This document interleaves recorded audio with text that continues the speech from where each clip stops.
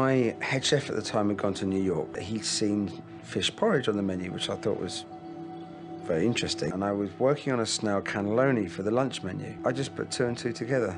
I suppose if you can call snails and fish porridge two and two. Having got excited with the prospect of making snail porridge, I then did think, oh, how popular is this dish going to be?